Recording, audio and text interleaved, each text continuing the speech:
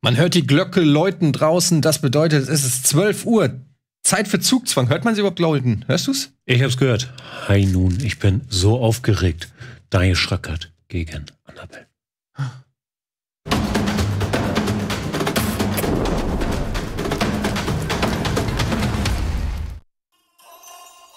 Ja, meine Damen und Herren, herzlich willkommen zur größten Schachmeisterschaft der Welt.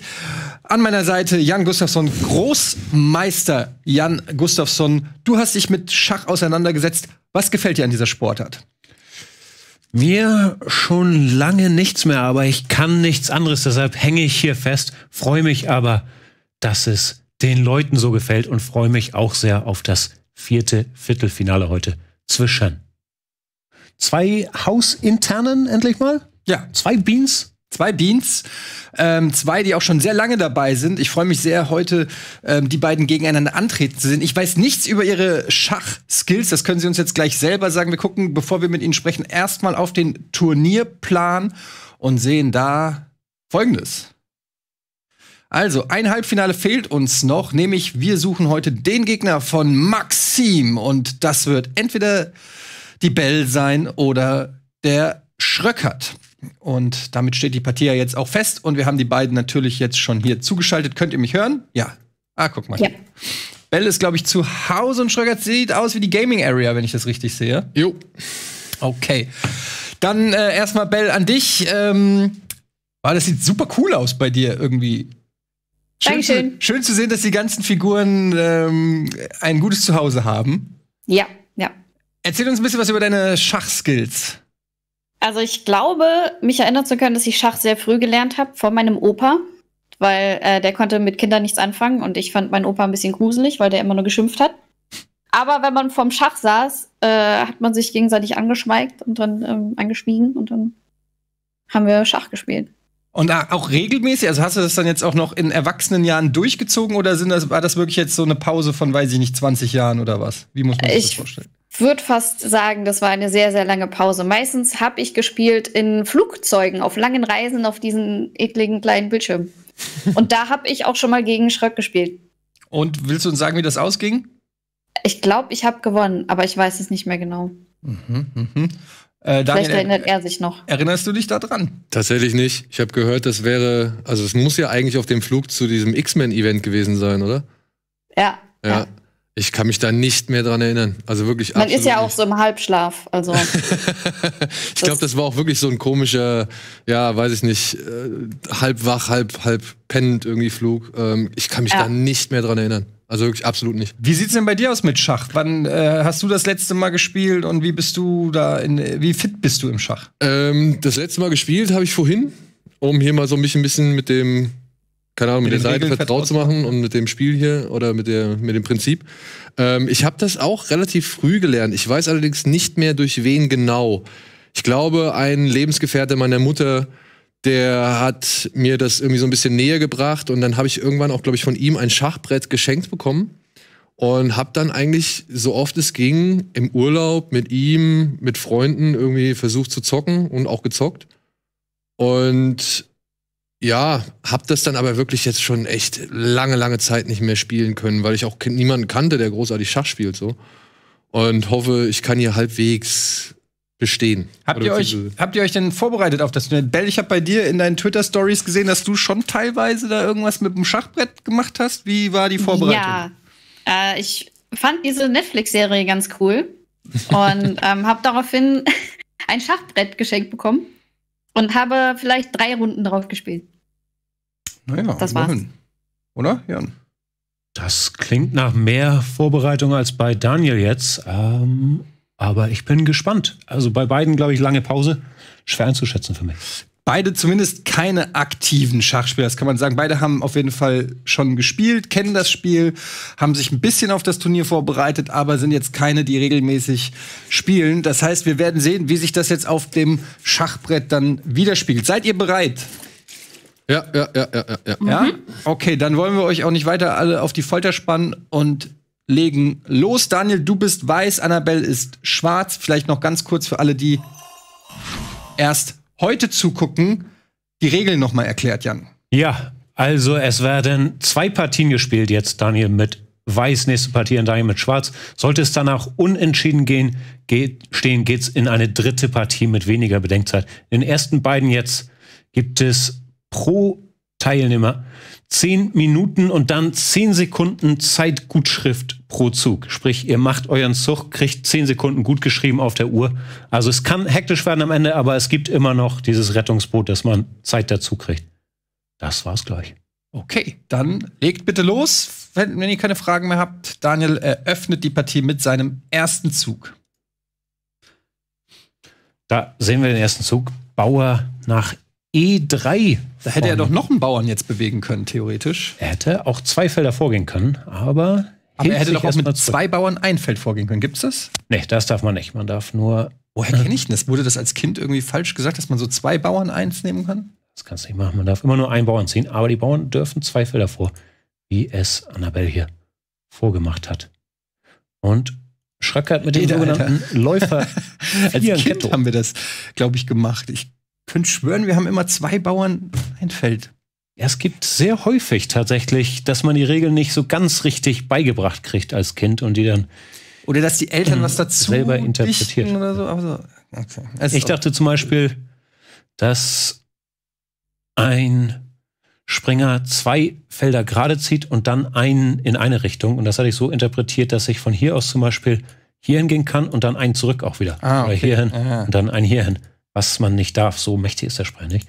Also habe ich lange mit mir selber. Habe ich aber auch gemerkt, als ich mit meinem Sohn Schach gespielt habe, ich versucht habe zu erklären, also dass er, der kann natürlich alle Figuren, nur beim Springer hat er immer wieder Schwierigkeiten, genau abzuschätzen, was er darf und was nicht.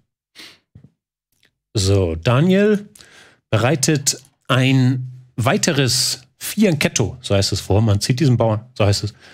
Man zieht diesen Bauern ein Feld vor und stellt dann den Läufer in diese Schießscharte. Er arbeitet am sogenannten Doppelfianchetto. Wenn man beide Läufer hier auf diese langen Aber es ist Diagonalen eine ungewöhnliche Eröffnung, die er da macht. Hat er da irgendeinen Tipp gekriegt von jemandem? Also so eine Eröffnung haben wir hier bei Zugzwang noch gar nicht gesehen. Haben wir noch nicht gesehen, ist nicht schlecht. Also es ist strategisch sinnvoll, die Läufer sind auf diesen langen Diagonalen. Ist normalerweise eine Eröffnung, die eher von zurückhalteren, zurückhaltenderen Typen gespielt wird, die nicht so gleich Feindkontakt wollen, sondern erstmal die Figuren raus, sich in Ruhe hinstellen und dann Action. Was wir sonst ja häufig sehen, ist dieses E E4, E5 und gleich Duell im Zentrum. Aber Schröckert scheint sich da Gedanken gemacht zu haben, denn das sieht alles sehr verständlich aus. Und jetzt von Annabelle, ich hoffe, das Ja, war kein glaub, Eingabefehler. Turm nach Rochade G8. machen, ich glaube nämlich, sie wollte rochieren. Und das hat nicht geklappt, befürchte ich jedenfalls. Da muss man den. König Muss den König auf dieses Feld stellen. Und wenn man da mit dem Turm was versucht, ähm, ich hoffe, dass das ja sie nicht zu sehr herausbringen. Wenn es so ist, vielleicht wollte sie auch wirklich da. Vielleicht wollte sie auch den Läufer verteidigen, vielleicht war es alles Absicht. Ich vermute fast nicht.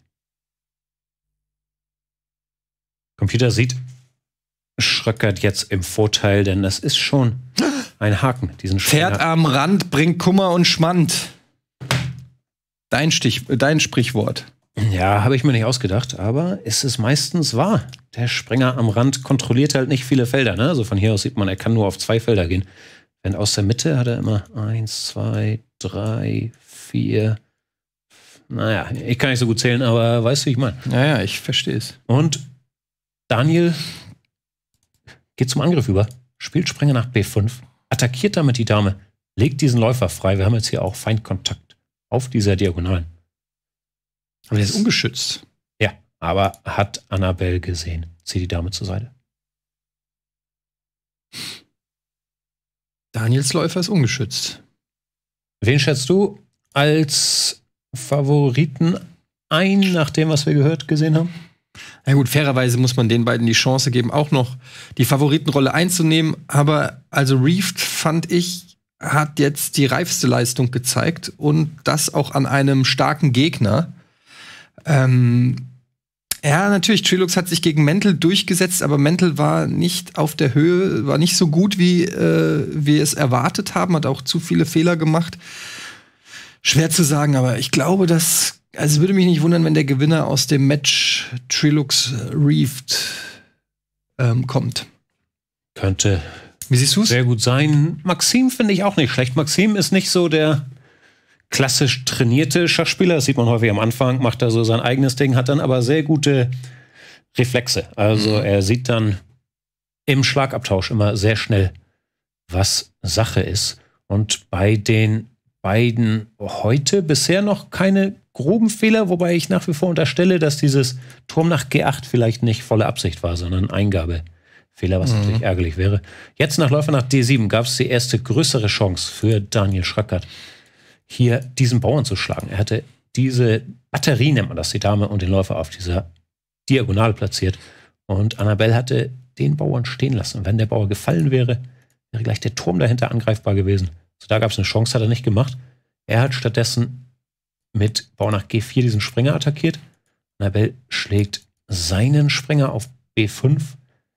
Er schlägt, es geht Schlag auf Schlag. Den Springer hier, was ein Fehler war, er hätte den Läufer wegnehmen sollen. Denn jetzt kann dieser Läufer sehr kräftig nach C6 gehen, damit die Batterie hier neutralisieren auf der langen Diagonale. Und Annabelle wäre im Vorteil. Noch nicht entscheidend, aber hätte Vorteil, während hätte Schracker sich für das Läuferschlagen entschieden. Ja, klar im Vorteil gewesen. Uiuiui. Ich hoffe, das war alles verständlich. Geht das zu schnell? Ich will immer nicht die Züge zurücknehmen und hier zu viel rumziehen. Nö, ich glaube, das war okay.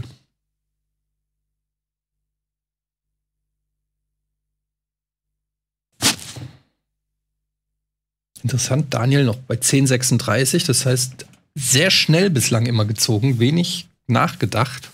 Ja, überrascht mich ein bisschen. Ähm, wobei, ich glaube, ich oder wir haben es ihm auch gesagt, als wir ihn anderen Tags gesehen haben, weil ich hätte gedacht, dass Daniel, der ja ein nachdenklicher Typ ist, der es ja aus allen Perspektiven immer abwägen will, dass er mehr Zeit braucht beim Schachspielen. Aber offenbar nicht. Und grundsätzlich gute Taktik, wobei hier eins zuvor, hier hätte es sich ausgezahlt, hätte er hier eine Minute nachgedacht, ja. welche Figur er schlagen soll. Denn diesen Läufer zu schlagen, wäre halt viel stärker gewesen. Der Springer ist nach wie vor angegriffen und dieser Bauer wäre angegriffen. Das hätte zu großem Vorteil geführt. Während den Springer zu schlagen, eben den Läufer am Leben lässt und der ist jetzt nach dem guten Zug, Läufer C6, so wurde es gespielt. Ein guter Zug von Bell. Unruhestifter.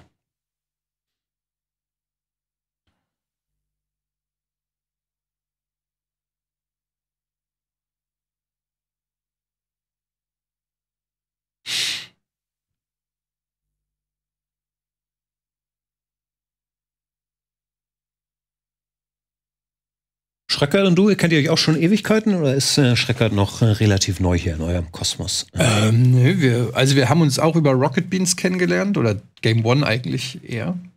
Aber das ist jetzt auch bestimmt schon zehn Jahre. Aber auch erst hier in Hamburg dann äh, kennengelernt. Ihr seid beide, was seid ihr, Hessen? Und kommt er auch aus Frankfurt oder wo kommt er? Nee, er ist, glaube ich, in äh, Wiesbaden äh, groß geworden. Okay, okay. Also 20 Kilometer von 20 also Minuten von Frankfurt entfernt.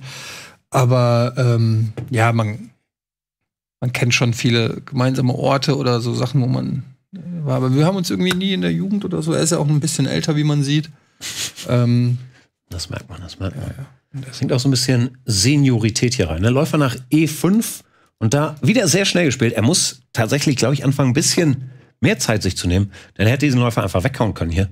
Was besser gewesen wäre, hätte mindestens einen Bauern erobert erstmal oder diese Bauernschwäche geschaffen.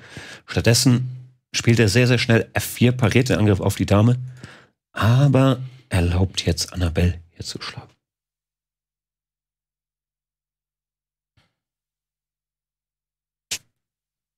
Beide hochkonzentriert, ne? Aber die Spieler auch, ne? Ja, ja. Naja. Ist noch früh, Jan. Es ist wirklich noch früh. Dame nach C7, ein grober Fehler. Das könnte Schröckert jetzt ernsthaft in die Vorhand bringen, denn er kann diesen Läufer schlagen. Der Läufer war angegriffen vom Bauern. Annabelle hätte ihn wegziehen sollen oder tauschen gegen den Läufer auf B2. Jetzt ist Weiß deutlich in der Vorhand. Kann hier drei Eiskugeln schlagen, eine verliert er zurück in Form dieses Bauern aber auch den könnte er noch weghauen. Läuft bisher für Daniel Schröcke.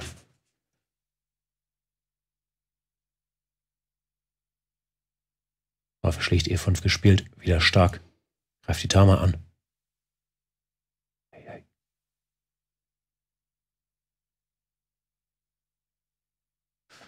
Was macht Annabelle? Auch von euch hier, außer ähm, Actionfiguren sammeln? Äh, ja, Bell ist auch schon lange dabei und ähm, ist hier hauptsächlich verantwortlich für den Schnitt.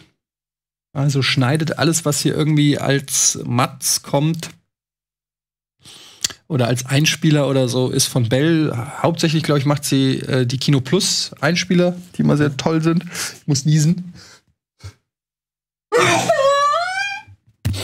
Und ähm, genau. Aber sie kann auch Kameramann machen. Also war mit uns zum Beispiel auch bei der in Los Angeles bei der E3. Aber seid ihr nicht alle hier, um einen guten Schnitt zu machen? Ist noch früh, ist noch früh. Hat sie gefallen in Los Angeles? Ich war, ich war erst einmal in Los Angeles. Ich fand es sehr spannend, weil ich, liebe so Los Angeles ist als Rest der Welt, auch Rest von Amerika. Ich liebe Los Angeles. Ich bin absoluter Los Angeles-Fan. Ich war ja auch schon sehr oft da. Man kennt sich halt, ne? Also ich, ich ähm, jeder, du steigst dann auch im Chateau Marmont ab? Chateau Marmont sage ich einfach äh, wie immer. Und dann schmeiße ich Wie Stuggi, ne? Stuggi und du. Genau. Und äh, dann kommt schon der Türsteher, der mich auch schon kennt und schon zehnmal rausgeschmissen hat. Nee, aber ähm, ich, ich, mag in, ich mag LA. Es ist, es ist wirklich ein bisschen, es fällt in Amerika auf jeden Fall aus dem Rahmen. Es ist, glaube ich, gibt nichts Vergleichbares. Für mich gibt es halt, ich glaube, da haben wir auch wieder was gemeinsam, so ein paar Wallfahrtsorte, so Comedy Store, habe ich mich reingesetzt, einfach ja. ganz Abend gar nicht bei so bekannten Leuten mehrmals und total gefeiert, das Ambiente und auch da draußen vor der Tür zu stehen, das ist alles ja, ja ich war auch sehr aufregend. Comedy Store im Improv, in der Love ja. Factory, Love, nicht Love Factory, das ist was anderes. Aber, ähm, aber da war ich auch. Nein, aber ja, also gerade, na klar, Stand-up-Comedy technisch geht da natürlich viel ab und ähm, gute Leute auch gesehen. Geschlichter von vier muss ich drauf eingehen. Ja. Ein Fehler, erneut große Chance für Schrockert, der allerdings nutzen muss, denn Geschlichter 5 ist ein verdeckter Angriff, ein Abzugsangriff auf seine Dame. Aber er kann mit dieser Dame jetzt diesen Turm schlagen, was ihn entscheidend in Vorteil bringen würde. Der Turm ist ungedeckt, wäre noch kein Schachmatt. Der Springer könnte dazwischen. Aber das wäre schon ein herber, herber Verlust für Annabelle. Wie konnte das passieren? Sieht das? Ne, er sieht Nein. das nicht und er begeht im Gegenzug einen groben Fehler, denn jetzt ist seine Dame angegriffen und hier kann sich das Blatt wenden, wenn Annabelle sieht, dass sie sich hier bedienen kann. Eieiei. Da schaue ich doch direkt mal auf die Blicke von Daniel und Bell, ob sie, ob sich da in den Blicken was spiegelt, ob es ihm jetzt dämmert. Er hat es noch nicht gemerkt, glaube ich. Bei Bell kann man auch nichts aus dem Gesicht lesen. Nee, sie sieht die ganze Zeit ganz zufrieden aus, wo es vorher ja eigentlich keinen Anlass für gab, aber hat sich nicht geändert, der Gesichtsausdruck. Ist das spannend. Hm. Es ist halt die Frage, auf diesem Anfängerlevel sind wir wieder beim Thema Tauschen. Oh, ja, aber sie macht Sie hat es gesehen, sie schlägt zu. Schrackert schlägt, spielt wieder sehr schnell, spielt allgemein die ganze Partie. Man muss ja sagen, zu schnell tatsächlich. Ja. Hab fast ein scheiß Gewissen, weil ich ihm ja gesagt habe, hier schnell spielen, Zeit ist schnell vorbei. Und hier wieder ein Fehler. Bauer schlägt G3, denn jetzt könnte Annabelle diesen Springer schlagen, danach den Läufer schlagen, mehr Material einsacken. Also da hat sich das Blatt von vollkommen gewonnen hier zu vollkommen verloren, also auf hohem Niveau. Ja. Sehr, sehr schnell gewonnen. Wir sehen auch, der Balken ist komplett schwarz durch diesen Verlust der Dame und auch durch diesen schlechten Zug dieses Bauern. Mich persönlich macht das aggressiv. Ich werde das dem Daniel auch später sagen. Dame nach B6 geht an der Chance vorbei, weiteres Material sich zu schnappen.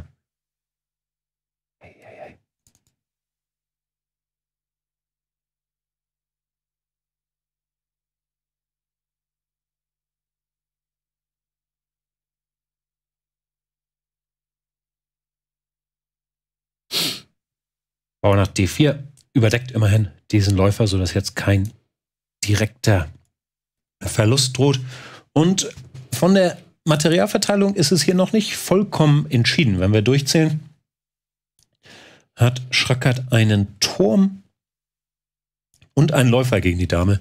Was countmäßig, Turm 5 Punkte, Läufer 3 Punkte, Dame so 9 bis 10, noch kein entscheidender Nachteil ist. Er steht hier dazu auch nicht so gut, wenn Annabelle jetzt hier schlägt und dann da sollte sie schon im Vorteil sein. Aber noch ist es nicht vorbei. Kann noch viel passieren. Aber da sehen wir genau das, was ich auch mal angesprochen habe, dass auf diesem Anfängerniveau natürlich immer Fehler passieren und deshalb kann sich auch derjenige, wenn er jetzt rein eiskugeltechnisch vorne liegt, immer noch nicht sicher sein. Nee, und hier haben wir auch gesehen, es kann hin und her gehen. Es waren schon ein paar gröbere Schnitzer drin. Das heißt, hier ist noch nichts entschieden. Aber so eine Dame zu haben, ist natürlich trotzdem immer besser, als keine Dame zu haben. Oder wie siehst du das? Ah. Hm? Ich rede noch vor mich hin. Ähm, da, D schlägt C5, Dame schlägt C5. Greift jetzt den Bauern an. Hält auch wieder diesen Läufer im Auge. Schröckert sollte den Läufer wegziehen, idealerweise hierhin, Dame angreifen, gleichzeitig diesen Bauern verteidigen. Wir schauen. Er spielt Bauer nach B4, greift die Dame an, lässt aber den Bauern Bauer sein. Hat vielleicht ein bisschen die Hoffnung, dass Bell drauf reinfällt und den Bauern schlägt? Ja, aber Bauern schlagen ist ja okay. Nee, ich meine den B4. Ja, den nicht, aber sie schlägt den richtigen hier mit Schachgebot. Greift den König an. Ich fühle mich ein bisschen schuldig, weil ich Daniel gesagt habe, schnell spielen. Er spielt viel zu schnell. Er hat ja Zeit. Also er hat noch neuneinhalb Minuten. Könnte die Zeit hier mal investieren. Nach F2, jetzt gibt es wieder die Chance für Annabelle, hier zu schlagen. Und dann hier zu schlagen. Auf einer E4 geschieht nicht. Nächste Chance für Daniel, Turm nach E1 würde jetzt die Dame attackieren, diesen Läufer im Blick behalten. Und es wäre wieder relativ offen. Tonner ernst gespielt, stark gemacht. Den Turm entzieht sich dem Angriff, greift ihn an. Es ist noch alles offen.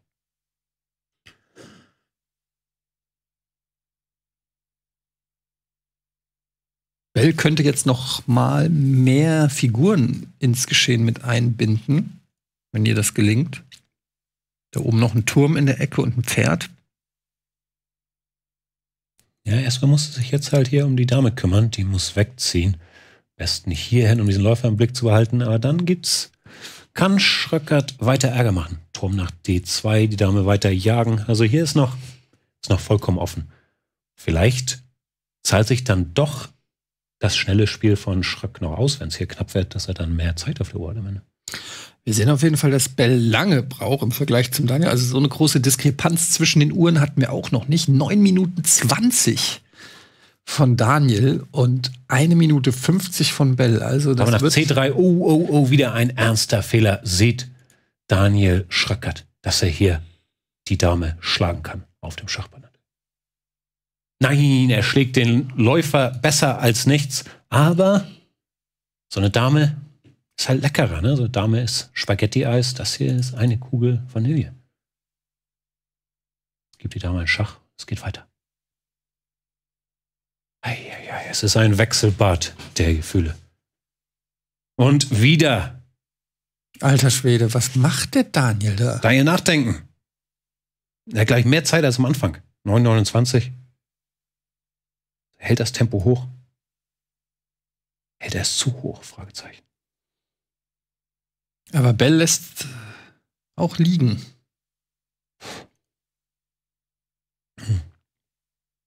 Darf ich die heutige Folge Bachelorette spoilern so leicht? Oder? Wieso, wieso Bachelorette? Ach so, nein, darfst du nicht. Mhm. Okay. Auf, äh, nee, nee, nee. Muss ich noch gucken. Aber ist gut. Ich wollte nur sagen, dass die Gefahr bestehen könnte, dass hier mehr Daniels ausscheiden in diesem Viertelfinale als bei der Bachelorette. Nein. Das ist ein Spoiler. Nee, nicht wirklich. Ich habe gelogen, um den, es keinem Mhm. wirklichen Spoiler zu machen. Die Folge ist wie, wie alle Folgen von Bachelorette ganz fantastisch. Wir wissen ja, dass du großer Trash-Film-Fan bist. Ist das so ein bisschen für dich ähm, das Gegengift für dieses angestrengte, hoch anspruchsvolle Schachgame, in dem du den ganzen Tag deinen Kopf äh, drum wickelst, dass du dann, wenn du nach Hause kommst, was richtig Flaches brauchst? Nee, nicht unbedingt. Also ich gucke wirklich Also bei so alles, ist es bei ich mir. mir verspreche, dass es mich irgendwie gut unterhält. Also ist mir eigentlich egal, Okay. ob es jetzt flach ist oder nicht. Ich mag die Trash-Sachen, wo es nicht so man nicht so das extrem Fremdschämen hat, dass man denkt, oh, das sind ganz arme Leute, die nicht so genau wissen, was sie da tun und vor die Kamera gezerrt werden. So dieses ähm, habe ich manchmal Probleme mit. Aber die Influencer, die in so ein Format gehen, um noch bekannter zu werden, finde ich super. Also Sommerhaus, Promis unter Palmen, Ja. Bachelorette, bin ich bei allem dabei. Also bei Bell tickt die Zeit. Daniel setzt sie zumindest zeittechnisch immer weiter unter Druck und man hat das Gefühl, dass Bell keinen Plan verfolgt, weil sie macht einen Zug, aber sobald Daniel in irgendeiner Form reagiert, setzt bei ihr wieder die Denkzeit ein, also als ob sie immer wieder komplett überrascht ist von den Zügen von Daniel und jetzt muss sie auf ihre Zeit gucken. 30 Sekunden. Sie Zeit läuft. hatte hier schon mehrmals die Chance, was Ja, zu nach E5. reißen. Und jetzt Schachgebot von Schröcker. Das ist stark, wenn er eingeplant hat, dass er diesen Springer jetzt schlagen kann. Mit Schachgebot. Und das hat er gesehen. Seine Springergabel greift König Oh, ja. und Turm an. Wenn er das jetzt versteht, dann hat er am Ende sehr, sehr viel Material für die Dame. Wenn wir erstmal gucken, ob er den Turm schlägt. Aber sollte er es tun, hätte er zwei Türme, Springer und Läufer. Was Eiskugel-Countmäßig großer Da ist die Vorteil. Gabel hat zugeschlagen. 16 zu 10. Und er hat es gesehen. Jetzt Daniel ist immer noch auf 10 Minuten. Wahnsinn. Er hat wirklich im Schnitt 10 Sekunden verbraucht pro Zug und hat damit genau dieselbe Zeit wie am Anfang. Also hält das Tempo unglaublich hoch. Dame schlicht C4. Könnte jetzt Stimmt das, was du sagst? geben. Ich muss es nachrechnen. Er hat ja 16 Züge gemacht. 17. 16? Okay. Sech- richtiger? 16 Züge und jetzt, naja. 34 Züge hat er gemacht. Oder? Ich will dich einfach auch nur mal korrigieren. Es ist mir bislang ich nicht hab ja gelungen. immer Es ist, es ist halt sehr ärgerlich, mit dir dieses Schach-Ding zu kommentieren. Es gibt nichts, wo ich mal sagen kann, ja, bist du dir da sicher, Jan? Wäre es nicht besser, wenn er A4 nimmt? Nein. Das ist undankbar. Nee, das verstehe ich und wir haben ja auch schon drüber gesprochen. So geht's mir meistens. Ich bin meistens bei uns der Host, hab dann den achtfachen russischen Schachmeister Peter Svidler. Und er sagt einfach, nee, Jan, der Jan, was laberst du da für eine Scheiße? Hast du schon mal Schach Ja, ja. gespielt? Mhm. Ja, ist ich kenne das. Ich habe das schon erlebt. Man. Springer nach F4 überdeckt den Turm, entzieht dem Springer dem Angriff. Dame nach C3 greift diesen Turm in der Ecke an. Er könnte jetzt wieder einen Schach geben. Das tut er auch. Schröckert. Und jetzt böte sich die Gelegenheit zur Springergabel. Angriff auf Dame und König. Dann die Dame weghauen. Das wäre die Entscheidung. Boah, ich würde gerne mal ins Macht er Gabel. nicht, macht er nicht. Turm nach T3.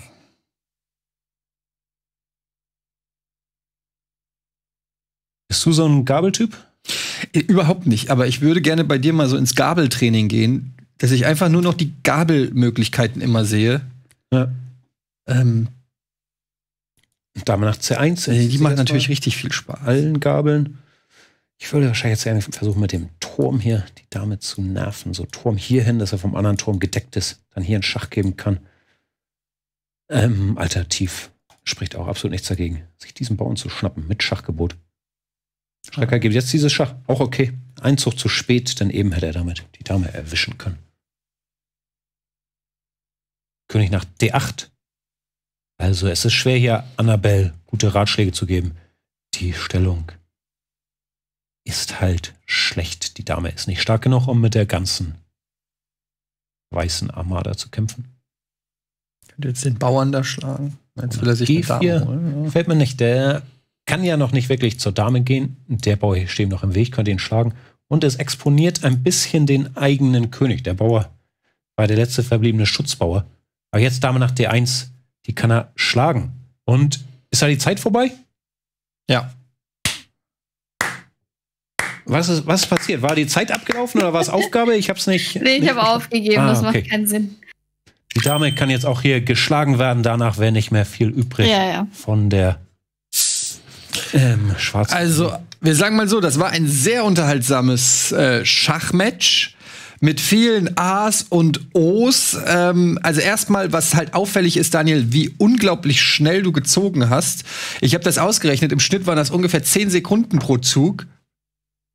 Und ähm, das ist schon beachtlich im Vergleich zu dem, wie bei Bell die Zeit da weggelaufen ist. Das ein oder andere Mal hätte es, glaube ich, nicht geschadet, ein bisschen länger nachzudenken. Ja, die ähm, Dame habe ich viel zu unüberlegt freigegeben bzw. geopfert. Das hat mich ein bisschen geärgert, aber naja, also gut, was soll man machen? Ich habe leider, ja, ich, ich habe durch dieses, ich habe durch die paar Spiele, die ich halt hier auf der, auf der Seite gemacht habe, habe ich halt festgestellt, oh Gott, das geht so schnell mit der Zeit, also muss ich halt schnell reagieren. Und manchmal, ja, muss man halt ein bisschen länger nachdenken. Ja, du hattest noch zehn Minuten, ne? Also so viel, wie, wie du angefangen hast. Du hast im Prinzip einfach keine Zeit ge gebraucht, die man dir gibt. Ja, aber es geht ja hier auf Zeit, oder? Also ich meine, ich muss ja auch irgendwo aggressiv spielen. Ja, ich glaube, es waren beide hatten auf ihre Art und Weise mit der Zeit zu kämpfen. Ne? Bei Annabelle war es ein bisschen zu langsam, bei Daniel für meine Begriffe auch tatsächlich ein bisschen zu schnell, was natürlich Druck macht auf Annabelle, mhm. die dann auch immer sofort wieder dran war. Aber es waren auch ein paar Chancen, die liegen blieben. Entscheidender Moment oder der erste entscheidende Moment hier Ausgangs der Eröffnung. Hier steht dahin ein bisschen besser, aber noch nicht viel passiert. Als Annabelle hier den Bauern schlägt, da war die Dame angegriffen und Daniel hätte auf G8 diesen Turm schlagen können, der jetzt ungedeckt war, mit seiner eigenen Dame.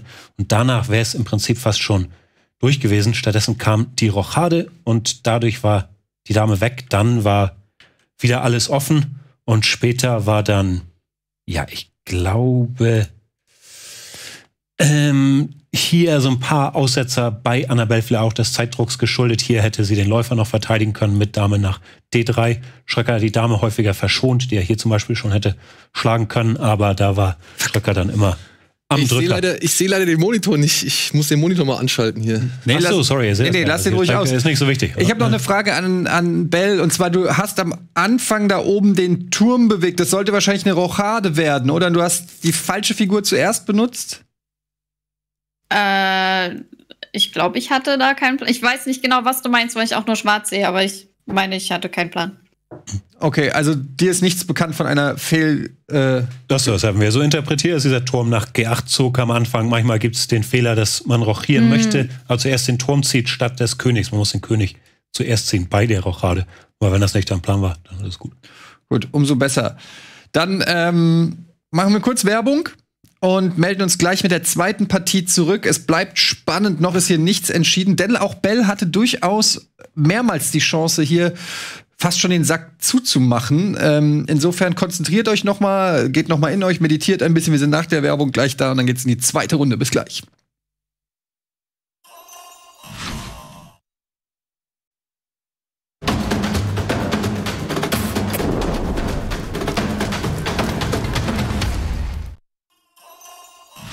Willkommen zurück zu Zugzwang, meine Damen und Herren.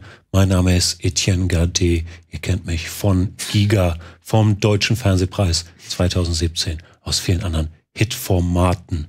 Und hier geht es gleich weiter mit der zweiten Partie zwischen Annabelle und Daniel Schröckert. Daniel Schröckert, die erste Partie gewonnen, sehr, sehr schnell gespielt. Jetzt mit den schwarzen Steinen. Annabelle muss gewinnen um dieses Match weiterlaufen zu haben.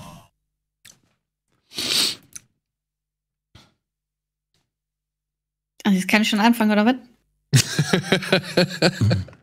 wir warten hier noch auf unseren Großmeister. Sind, sind wir bereit? Können, können die Spiele beginnen? Ja, das ist korrekt. Äh, bitte, ähm, Schach, go.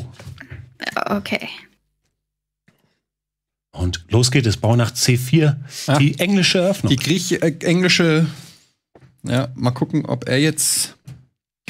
Ja, und das ist die kasachische minimale Öffnung mit dem kleinen Bauerngeschirr auf der Sechserlinie. Totaler Blödsinn. Auch diese, diese Scherze auf Kosten von Kasachstan. Also ich finde, das hat Borat auch ausgelutscht, das Thema. Es gibt keine kasachischen. Und den Zug, den Daniel macht, habe ich früher mit einem Zug gemacht, muss ich ganz ehrlich sagen. Ja. Erstmal hinstellen. Bau nach E6 und Bau nach B6. Also Schröcker bleibt wieder bei seinem Prinzip, die Läufer früh zu vieren kettieren, wo auch nichts gegen spricht. Also ist zurückhaltender Aufbau, man kämpft nicht so direkt ums Zentrum, was ich ja meistens empfehle. Aber die Läufer haben ja trotzdem aus der Ferne Einfluss. Ist nicht falsch.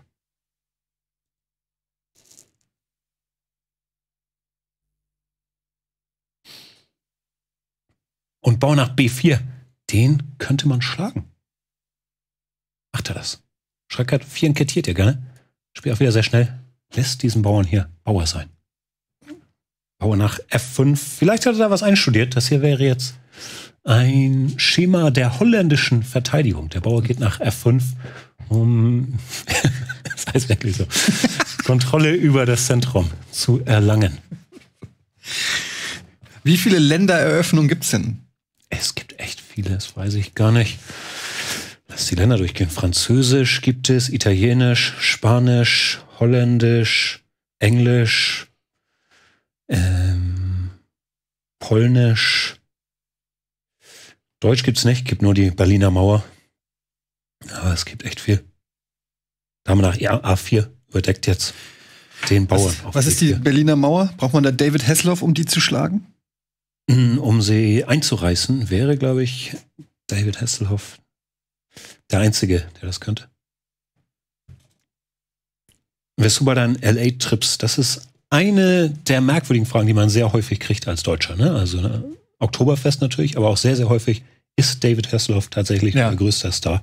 Wo ich schon 800.000 Ich auch. Ich bejahe es jedes Mal. Hat ja, glaube ich, Dirk Nowitzki auch schon oft drüber geschrieben. Gerade in seiner Anfangszeit in der NBA. Haben sie, glaube ich, immer, wie war das? Du weißt es besser wahrscheinlich, David Hasselhoff gespielt, wenn er in die Kabine kam oder so? Das ist schon schöne Musik. Bist du eher Baywatch oder eher Knight Rider? Ähm, also, sagen wir mal so, ich hatte bei Baywatch die prägenderen Erlebnisse. Die Zeitlumen, ne? Ja. ja. Dame nach F6 greift den Springer hier an. Und Annabelle sollte ihn verteidigen. Das tut sie. Gut gespielt. Bauer nach E3. Bauer nach C5. Schröckert nach wie vor in hohem Tempo unterwegs. Versucht hier Druck zu machen. Exponiert aber ein paar Schwächen in seiner Stellung. Dieser Springer könnte jetzt nach B5 weiterspringen. Aber Bell spielt auch schneller jetzt. Ja, ja, ja, das scheint sie sich vorgenommen zu haben, hier auf der Uhr ein bisschen mitzugehen, das Tempo. Und nach Springer B5 ist Schröcker jetzt in der Defensive. Denn es droht hier eine Gabel. Eine Gabel. Sag es. Es droht die Gabel. Es droht die Gabel.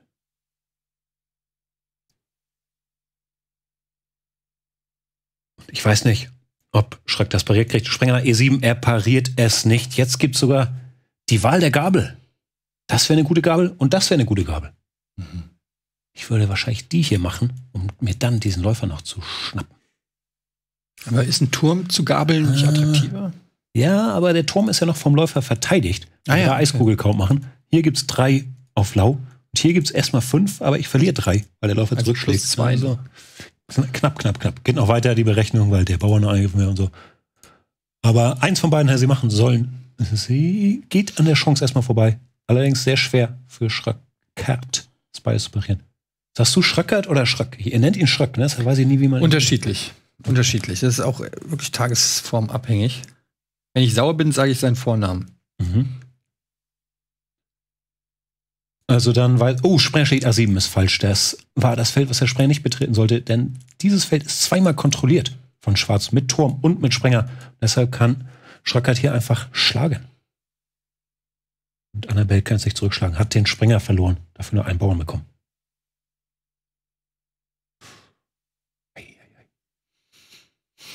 Ja, ja, ja. Bell macht zu viele Fehler. Also bisher scheint sich Schröckers Taktik sehr, sehr schnell zu spielen und mitnehmen, was er kriegen kann, auszuzahlen. Denn jetzt ist der Sprenger weg und das war die Hauptangriffsfigur, die Weiß ja hatte hier in dieser Situation. Jetzt sieht es einfach schlecht aus.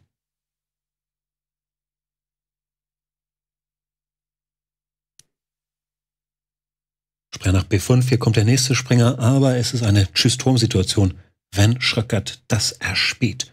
Die Dame kann hier, ist ganz in die Ecke zum Turm und er sieht es.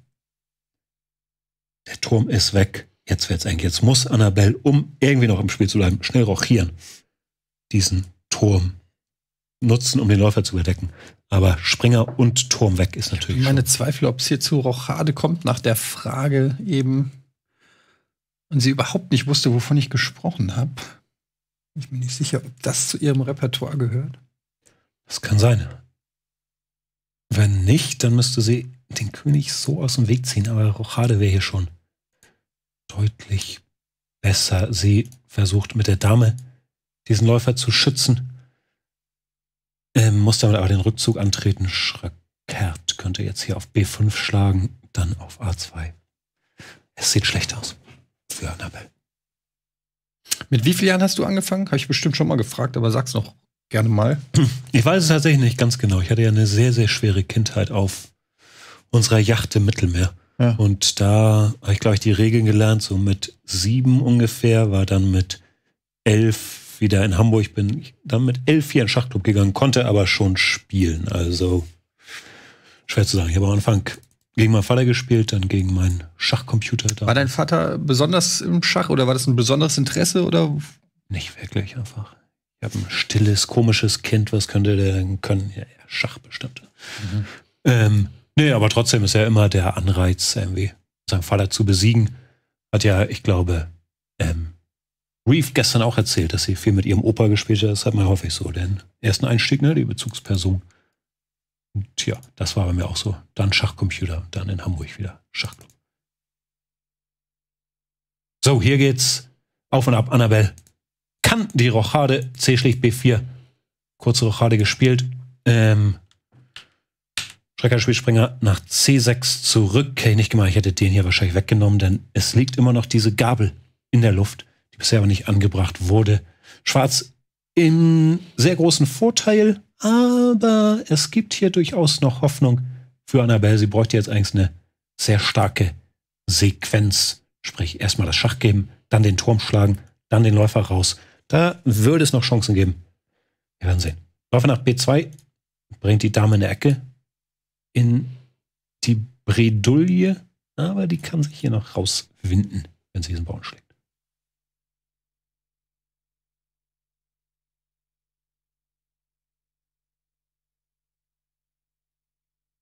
Macht er.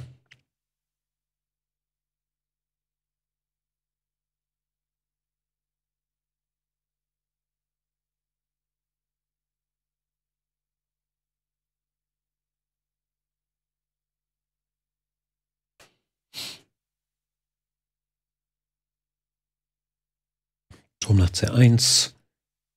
Ähm, Turm nach A1 wäre vielleicht verlockend gewesen, aber dann hätte Daniel zweimal schlagen können mit entscheidendem Vorteil. Es wäre immer noch die beste Chance, dieses Springerschach zu geben. Was jetzt pariert wird, der Springer geht an den Rand, überdeckt damit aber dieses Feld, sodass das Springerschach nicht mehr funktioniert. Jetzt wäre Turm nach A1 eine bessere Chance, weil dadurch, dass der Springer. Uh, und sie macht es die ganze Zeit nicht. Und jetzt, wo es nicht mehr geht, kommt es. Also da ist das, das Timing so gut wie bei meinen Twitter-Gags. Äh, Springer nach C7 und weg ist er. Diese New York Knicks Nummer, die nagt an dir. Das, das macht mich fertig, vor allem. Ich war so stolz. Kennst du das, wenn man so stolz ist, weil man einem ein sehr dummes Wortspiel eingefallen ist, dann Ich tweetet man es und ver verstehe überhaupt nicht. nichts. Kann ich null relaten, ehrlich Hast gesagt. nichts mit zu tun. Nee.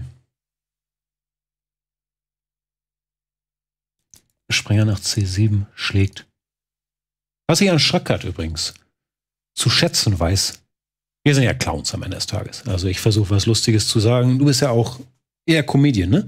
Bei Schröck hat man ja den Eindruck, dass er ernsthafte Passion hat für die Sachen, mit denen er sich beschäftigt, oder? Sei es hier jetzt Filme oder Musik. Ich finde, es wirkt immer so, er mag das Zeug wirklich und möchte drüber sprechen.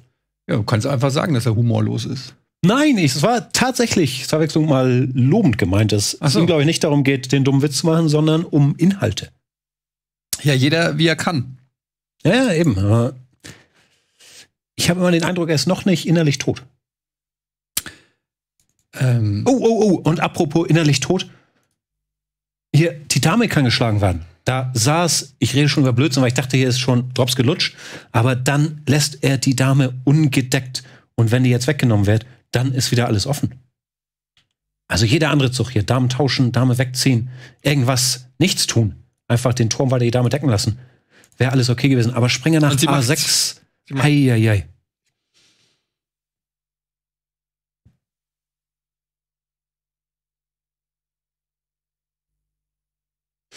Also Schröckertschel immer noch besser, weil er am Anfang ja sehr, sehr viel eingesammelt hat hier schon mhm. auf diesen Raubzügen. Aber jetzt ist wieder alles offen. So eine Dame ist halt viel Holz. Haben wir ähnliche Situationen schon im Match Varion gegen Etienne in der ersten Staffel gesehen, wo Etienne weit, weit vorne war. Dann gab es, glaube ich, auch eine Tschüss-Dame-Situation. Dann war es wieder halbwegs offen. Wobei auch hier, wie auch in deinem Match damals, die vielen Figuren, die schon eingesammelt wurden, der Dame, glaube ich, überlegen sind. Wir sehen auch der Computerbalken, obwohl eine ganze Dame hergeschenkt wurde, ist noch auf schwarzer Seite. Ich wäre jetzt natürlich gegrillt dafür, dass ich Daniel hier leicht attackier attackiert habe. Weil es ist so einfach, ihn zu loben für seine äh, Leidenschaft für Filme. Deshalb fällt es mir schwer, das noch mal herauszuarbeiten, weißt du? Ja, das verstehe ich, aber es war tatsächlich ernst gemeint, dass ich habe diese Passion für Schach tatsächlich nicht immer. Also ich suche immer danach irgendwas Lustiges zu sagen oder so, aber das ehrliche Interesse in meinem Thema ist nicht immer da. Und bei Daniel, wann immer ich reingucke, habe ich den Eindruck, er ist wirklich ehrlich, äh, brennt für seine Themen. Absolut. Und Das- hier, er sollte diese Dame wegnehmen. Was das Faszinierende ist, ist, dass er ähm, so viel glotzt, also so viel Filme und Serien guckt und trotzdem sich alles merkt. Das auch noch, das auch noch. ja. Das finde ich eigentlich eher, das ist so ein bisschen wie Nils mit Fußball, wo ich mir denke, wo, wo passt das da? Wie geht das? Also, Oder bei dir wahrscheinlich mit europäischen Eröffnungszügen vom Schach. Wahrscheinlich, wahrscheinlich. Ja. Aber ich glaube auch, man hat so und so viel Speicher immer auf der mentalen Festplatte und man muss sich halt die Themen aussuchen, mit denen man die vollpackt. Ne? Also Ja. ich musste hier Fußball nach 1990 komplett opfern für, für Schacheröffnung. Ja, du, hast halt, nach A1. du hast halt so eine 5 Terabyte SSD-Festplatte und ich Mhm. habe halt so ein 8 Megabyte USB-Stick 1.0. Aber deshalb sage ich ja, jeder wie er kann. Vier Terabyte sind halt aber dann auch voll mit ähm, Love Island Wissen. Ne? Das ist dann auch mal die Frage, wie viel einem das nützt im Alter. So, jetzt nimm doch mal die Dame weg, Schracker, oder zieh sie weg, Annabelle. Ich kann es nicht mehr ansehen. Ja? Jetzt sollte sie wahrscheinlich den Turm da hinten schlagen.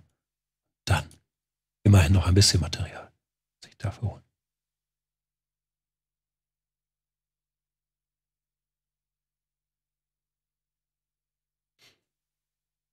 Warum kriegt Jan keine Kino Plus Einladung? Du warst doch schon mal bei Kino Plus, Ich war da, ich war da. Es gab. Jetzt ja wiederkommen. Ist halt bei Corona nicht so leicht, weil wir nicht so viele Leute immer ins Set nehmen können. Und der Cast von Kino Plus ja mittlerweile echt groß ist. Und wenn du dann die Wahl hast zwischen Steven Gätchen und Jan Gustafsson, dann äh, nimmst du eigentlich beide und Etienne bleibt zu Hause. Ah, ist, ist kinomäßig ähm, im Moment so viel. Oh, was ist denn hier los? Ist ja auch nicht so viel los, ne? Guckst du neue Filme? Also, ich durchsuche mal so, was es so gibt. Also, richtig viel Neues habe ich auch nicht auf dem Radar immer. Oh, es gibt aber noch genug alte Sachen, die man nicht mehr kennt. Oder es gibt so Plus- viele Sachen, die ich in den Okay. 80ern geguckt habe und aber noch nicht durch erwachsene Augen und da noch mal ein zweites Mal drüber sehen muss. Also, hier, ja, es war. Schröckert hat diese Dame einfach nicht schlagen wollen. Stattdessen jetzt die lange Rochade ausgeführt.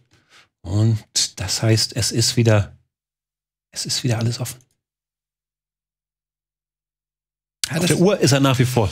Also Bell und Daniel sind beides Instinkt-Schachspieler, ja. Das sieht man schon. Es gibt nicht diesen einen großen Plan, sondern da wird von Situation zu Situation neu entschieden. Ich finde, das hat auch was. Ja, es ist ja alles. Oh, aber dieses. ah, Die arme Dame, die arme weiße Dame tut mir so leid. Also, was die ja schon hat mitmachen müssen in dieser Partie. Also gab hier das Schach, aber da wurde sie geschlagen und der Läufer ist natürlich weniger wert als die Dame, sodass jetzt Schreck wieder entscheidend im Vorteil ist. Der Turm ist angegriffen, sollte sich hier tauschen gegen den schwarzen Turm und kann zurückgeschlagen werden. Der Läufer ist noch angegriffen. Und wenn wir dann durchzählen, hätte Schwarz immer noch eine Figur und einen Turm mehr. Eieiei. Hm. Turm nach A3 ähm, überdeckt den Läufer und behält den Turm, was ja das die Partie nicht mehr retten sollte, aber vielleicht eine bessere Chance ist, weil so immerhin ein paar mehr Einheiten noch auf dem Brett bleiben. Springer nach D3. Turm ist wieder angegriffen. Uiuiui.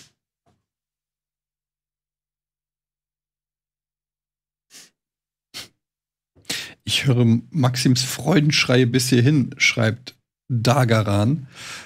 Ja, das äh, muss man wohl nach diesem Matches wohl sagen, dass Maxim hier auf jeden Fall als Favorit in die in dieses Halbfinale gehen wird, aber Ja, ich denke, das ist fair. Wobei ich Schreck auch zutau, wenn er denn weiterkommen sollte, noch ist er nicht so weit, dass er da noch einiges einstudieren wird für Maxim. Ähm, jetzt hat er sich weiteres Material hier beschafft. Der Läufer hat diesen Turm geschlagen.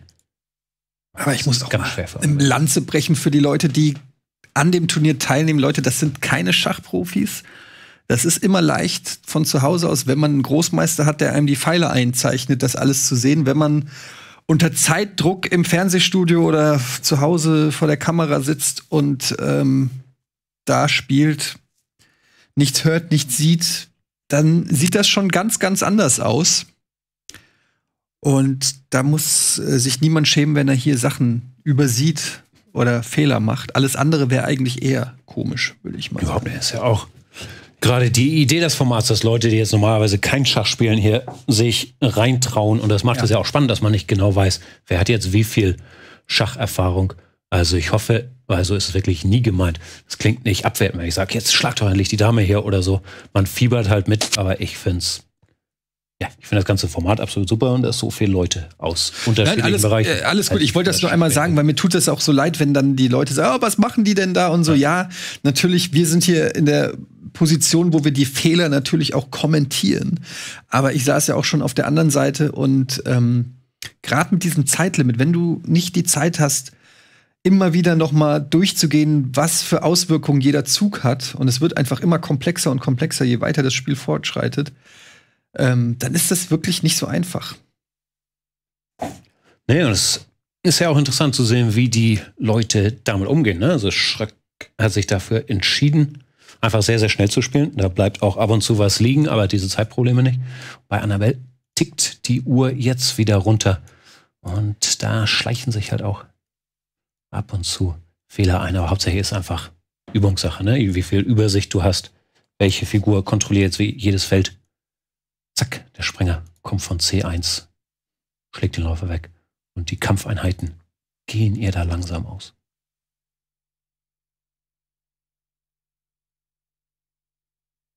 Hm. Und Schracker, muss man auch mal sagen, nur noch bei neun Minuten. Ne? Also auch nicht mehr der Alte. Ja, er wird müde. F schlägt E5, schnappt sich jetzt einen Bauern. Ah, Das ist halt, das ist halt Kleinvieh.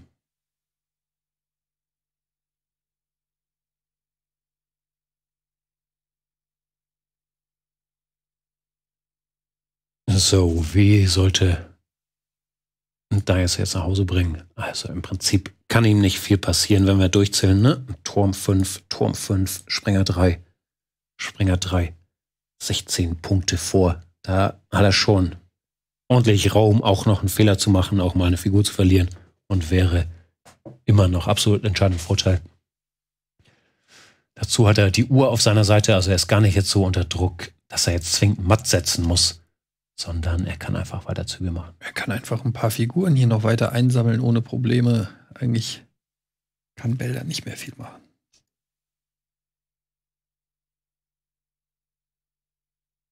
Vater Morgana sagt, ja, man sollte halt auch gleich starke Spieler einladen, nicht solche Niveauunterschiede haben. Das Sehe ich nicht so. Ich finde es eigentlich viel spannender, dass man nicht ganz genau weiß, wer hat wie viel Schacherfahrung, wer ist Ja. im Vorteil und so weiter. Also wir ich habe ja normalerweise auch vorher gar nicht. Eben. Insofern. Und wie man an der an dieser Message sieht, gibt es ja auch unterschiedliche Skills in Sachen Chat-Kommentare. Da ist ja das Niveau auch nicht immer ausgeglichen. Gell, Vater Morgana? Ist das auf Einladung? Hm? Ist das auf Einladung der Chat? Leider nicht. Moderierst du da manchmal höchstpersönlich? Schwingst du den Ben Hammer, wenn da jemand. Zu selten offensichtlich.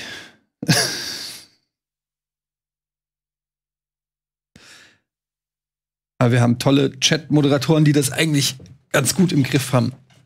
Aber natürlich bei so einem Erfolgsformat wie Zugzwang, wo die Leute zu Millionen in den Chat kommen, kann man natürlich auch nicht jeden Troll Ja, ja. entsprechend maßregeln.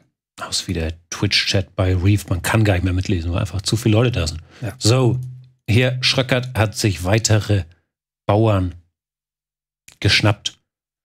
Da fällt der nächste. Den hier kann sie auch noch nehmen. Keine Chance. Aus Daniels Sicht ist das so eine Partie, die, glaube ich, richtig Spaß macht. So, du kannst einfach jetzt gemütlich einfach ein bisschen was wegnehmen. Weil gemütlich sieht das nicht aus, oder? Ich finde, das schon noch ein bisschen Anspannung. Ja.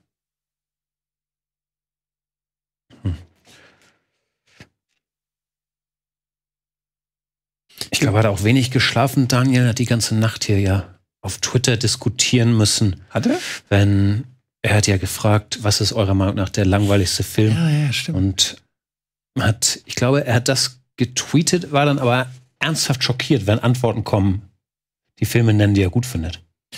Also ich habe mich nicht getraut, jetzt zum Beispiel hier Apocalypse Now oder so reinzuschreiben, weil ich wusste, dann redet er nicht mehr mit mir. ja, das ist aber auch, komm.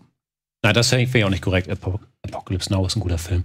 Der hat sicherlich auch seine Längen, Längen? aber Ah, nein, ist schon gut. Ich muss mich hier wie immer mit unserem lieben Freund Mental Matteo solidarisieren. Blade Runner. Mhm. Ich habe es häufig versucht. Ich weiß, innovativ und äh, super Atmosphäre. Ich finde ihn so langweilig. ja, Blade Runner auch sicherlich ein Film mit Längen, aber ich mag da natürlich auch, also es gibt ja auch Filme, die unterhalten einfach nur durch die Atmosphäre oder durch, durch, weiß ich nicht. Also es gibt da ja unterschiedliche. Ich verstehe es ja und ich sage ja auch nicht, dass es ein schlechter Film ist, aber für mich einfach schwer die Konzentration. Aber Blade Runner ist genauso wie auch Apokalypse. Also es sind so Filme, die man, glaube ich, auch in der richtigen Stimmung, die, die passen nicht zu jeder Stimmung. Du kannst nicht einfach sagen, so, komm, wir sitzt da mit Popcorn und Nachos und sagst, und jetzt ballern wir uns Blade Runner rein. Äh, Ich habe es tatsächlich bei beiden Blade Runners. Ich bin auch bei Blade Runner 2049, war ich im Kino und ich, mm, ich war ein bisschen müde, muss ich gestehen, aber ich war nicht, hat mir nicht angemacht. Da bin ich großer Fan von. Wer ist der Ah. Typ? Denis Villeneuve. Dein Gesichtsausdruck sagt, du siehst es anders. Ja, ich liebe diesen Film. Ich, ich, das war für mich einer der besten der letzten Jahre. Ich habe den sehr, sehr gemocht. Es liegt aber wahrscheinlich auch daran, dass ich dem Schauspieler sehr ähnlich sehe und dann kann ich da einfach mich in gewisser Weise auch die Situation versetzen. Ja. Ähm, ich weiß nicht, Harrison Ford ist er noch ein Tick älter als oder nicht? Ja. Schachmatt, meine Damen und Herren. Daniel Ströckert steht im Halbfinale.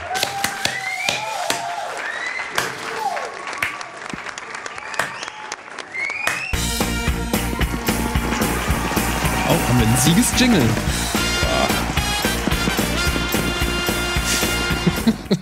wow. Sehr gut. Äh, 2-0 setzt sich Daniel gegen Bell durch. War dann am Ende doch eine ziemlich klare Angelegenheit. Wir fragen erstmal an die liebe Bell, was war da los? Tja, keine Ahnung. Irgendwie verzettelt, ne? Gibt es einen Punkt ähm, im Spiel, Jan, den du herausarbeiten könntest, der der, der Kasus Knacktus war? Also es gab früh in der Partie hatte Annabelle eigentlich eine gute Stellung, hatte gute Angriffschancen, ist dann häufiger an dieser sogenannten Springergabel vorbeigegangen. Ich weiß nicht, ob die Ah, beiden das Brett Cool. sehen können. Aber hier mit dem Springer hätte sie häufig diesen Turm einsammeln können, hier das Schach geben und damit ziemlich entscheidend in Vorteil kommen. Hier zum Beispiel oder hier. Und dann ein Fehler war stattdessen mit dem Springer auf A7 zu schlagen, denn das Feld war Geh noch zweimal mal, gedeckt. bitte, das ist zu schnell. Geh noch mal bitte ein bisschen Ja, zurück. ja, ja, ja. Zeig noch mal die Springergabel und zeig mal die, die, warum das Springergabel ist. Also welche zwei Angriffe. Ja, also Springergabel nennt sich, wenn der Springer gleichzeitig zwei verschiedene Figuren angreift. Hier zum Beispiel Springer nach D6 wäre Schach dem König. Der müsste weggehen und dann könnte man diesen Läufer schlagen, wieder mit Schachgebot. Eieiei. Oder alternativ hier dieses Schach wieder den König angreifen, der müsste weg, dann den Turm schlagen. Das hätte beides zu großem Vorteil geführt. Stattdessen ja, ging der Springer auf das Feld hier, was zweimal kontrolliert war von Daniels Turm und Springer. Und danach war Daniel eigentlich immer schon relativ klar im Vorteil. Es gab dann ein paar Dramen später rund um die Scheiß Dame. Dame hier, genau. Fuck. ich hab sie schon wieder geopfert. Für nix. Genau, also hier hatte Daniel ja schon viele Figuren geschlagen, hätte einfach die Damen tauschen können zum Beispiel oder sie wegziehen. Verstellte sich aber den Weg hier, die Verbindung zum Turm, der sie gedeckt hatte sogar noch. Und danach war das Ganze wieder offen. Dann gab es das Drama auch um die weiße Dame, die hier lange Zeit lang, glaube ich, geschlagen werden konnte vom Ja. Turm. Ey, das hat mich so angekotzt. Ich hab, ich hab's nicht gesehen. Ich hab's nicht gesehen. Also da gab es ein paar Züge lang die Chance hier immer noch, immer noch, dann lange Rochade, Turm sie weg. Hier war eigentlich wieder alles offen, aber dann hat Bell Daniel eigentlich zu seinem Glück gezwungen mit diesem Dame A8 Schach. Hat gesagt, jetzt schlag die Dame endlich und da wurde sie weggenommen und das danach gab es keine Chance mehr. Also das waren so die. Aber interessant, Moment. ne? Also das war ja schon relativ weit in der Partie und ihr seht links an dem Balken, da war es ziemlich ausgeglichen noch. Wenn Bell da diesen Fehler nicht gemacht hätte, wäre da noch alles drin gewesen für dich, Bell. Das war tatsächlich ein bisschen der ähm, ja, gefährlichste Zug von dir. Da hast du die Dame verschenkt. Bis dahin Hm. war es aber gar nicht Ah. so unmöglich. Ja.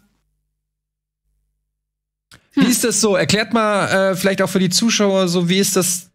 Ihr habt ja auch die Partien, glaube ich, äh, äh, so geguckt. Und wie ist es, wenn man selber spielen muss mit Zeitlimit? Mir geht die Pumpe, als würde ich, keine Ahnung, weiß ich nicht, Final von Call of Duty spielen oder sonst irgendwas. Ey, wirklich, ich bin hier nervös, hoch, hoch 10. Ich wollte eigentlich nur mich irgendwie gut schlagen und habe mich so oft aufgeregt. Jetzt diese ganze Damengeschichte da, das, was Jan als Damendrama bezeichnet hat, das war so furchtbar. Ich habe mich so geärgert innerlich. Aber dann darfst du dich irgendwie, glaube ich, auch nicht so sehr versteifen. Und ja, ich zitter. Ich zitter wirklich. Und bei dir, Hm. Bell? Hm, ja, also ich fand's sehr spannend und generell habe ich auch kein Problem damit, Figuren zu opfern. Das war oftmals mein Plan, auch mit dem, mit dem Damenturm da oben in der Ecke. Aber wenn der andere dann nicht so mitspielt, wie der Zug in meinem Kopf abläuft, dann, also sobald er irgendeinen Zug macht, komme ich komplett aus der, aus der Rolle. Warst du aufgeregt? Ja, schon, ja. Ja. Äh, ist auch anstrengend, oder? Also mir ging das so nach den Partien, zum Beispiel gegen Mental oder so, da war ich, also es hat sich angefühlt wie zwei Stunden Sport. Zwei Stunden Sport habe ich noch nie gemacht, das kann ich schwer einschätzen, aber es ist auf jeden Fall, ich glaube, deutlich stressiger, als man denkt, so beim Zugucken. Mich macht die Uhr auch sehr nervös, muss Ja. ich sagen. Ja. Das stresst mich. Die ist immer die im Nacken drinne und äh, ja, äh, Daniel, jetzt müssen wir natürlich zum Abschluss noch klären, was ist denn jetzt der langweiligste Film? Ey, du, ich bin ein bisschen erschrocken. Ich weiß nicht, ich, ich finde, da gibt es eine Menge langweilige Filme, die ich trotzdem mag. Und ich war erschrocken, wie viele Filme dann doch irgendwie als langweilig bezeichnet werden, die ich wirklich richtig geil finde, wo ich auch wirklich drin aufgehe. Ich meine, Blade Runner 2049. Ja. Ähm, langweiligste, einer der, wirklich, einen, den ich hervorheben kann, einer der langweiligsten Filme meiner Ansicht nach ist Lost in Translation. Aber er ist gut. Ich will es ja gar nicht abstreiten. Er ist gut. Okay. Ich habe nichts mehr dazu beizutragen. Vielen Dank. Hast du den auch genommen oder was? Hm? Hast du Lost in Translation genommen oder was? Nein, ich habe ja tatsächlich den ersten Blade Runner immer ein bisschen auf meiner Liste. Ich weiß, Atmosphäre ist super, aber für mich ist es immer, ich muss mich zwingen. Aber der ist auch nicht, der ist auch nicht schwungvoll oder. Nee, das oder- meine ich ja. Das ist auf meiner. Liste der langweiligen Filme. Ansonsten Interstellar. Interstellar. Ah. Oh, ist so langweilig. Interessante Wahl. Mm, ja, Nolan, Zeit dreht sich nach links Ich finde, und da rechts. Wir ich aber. Äh, da finde ich Tenet schlimmer. Tenet wir war ja auch reden Inception habe ich auch ein bisschen aber Interstellar. Also Tenet habe ich gerade noch neulich drüber nachgedacht, wenn jetzt mir einer sagen würde, ich müsste den noch mal im Kino sehen, da würde ich vermutlich mich krank melden oder so. Hätte ich ja wirklich keine Lust. Ähm, okay, aber das sprechen wir dann in einer Folge Kino Plus noch mal. Du kommst äh, bestimmt mal wieder zu Ja, Kino ja, Plus. Immer gern, immer gern. Auf jeden Wir Fall. schauen noch auf den Turnierbaum. Denn jetzt stehen sie fest, die zwei Halbfinale. Maxim trifft auf Daniel Schröckert und zwar morgen schon. Was? Oder? Ja, morgen 12 Uhr mittags, Ja. tatsächlich. morgen, morgen 12 Uhr Mittag ist schon das. Äh, so sieht Freude aus. Und dann sehen wir natürlich das zweite Halbfinale Trilux gegen Reefed. Äh, übermorgen dann, ne? Ja. Genau. Und Freitagabend dann hier zur Primetime das große Finale nach Game 2. Da könnt ihr euch schon mal drauf freuen. Vielen Dank, liebe Bell. Vielen Dank, lieber Schröckert. Ähm, das war ein spannendes, äh, Schach, ein spannender Schachmittag. Jan, Ja, schönes was machen Spiel. wir jetzt? Schachmittag, super. Ähm, ich habe ein Meeting, aber auch Hunger. Also vielleicht können wir uns noch irgendwas zu essen organisieren. Und dann Okay. Das können wir Vielen mal Dank fürs Zugucken. schauen. Vielen Dank fürs Einschalten. Das war's mit Zugzwang. Bis morgen. Tschüss.